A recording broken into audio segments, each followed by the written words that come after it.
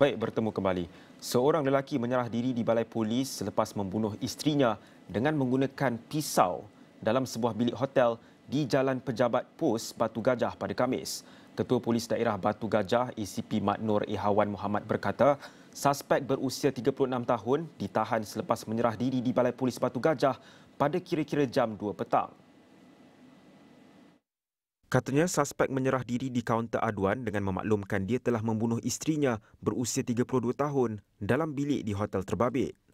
Bertindak terhadap maklumat tersebut, pihak polis menemukan mangsa dengan kesan tikaman termasuk sebilah pisau yang dipercayai digunakan suspek di tempat kejadian.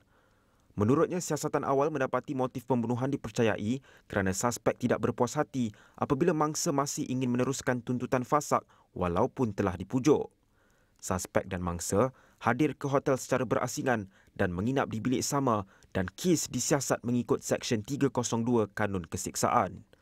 Orang ramai yang mempunyai maklumat diminta menghubungi pegawai penyiasat kanan ESPVK Gunaselen di talian tertera bagi membantu siasatan. Sementara itu, bapa saudara mangsa yang hanya mahu dikenali sebagai Johari ketika ditemui di Batu Gajah berkata pihaknya tidak menyangka nasib anak saudaranya itu berakhir dengan tragedi menyedihkan. Menurutnya, isteri dan suspek memang tidak sefahaman dan rumah tangga mereka mengalami keretakan hingga ke fasa perceraian namun tidak pernah menyangka akan terjadi perkara seperti ini.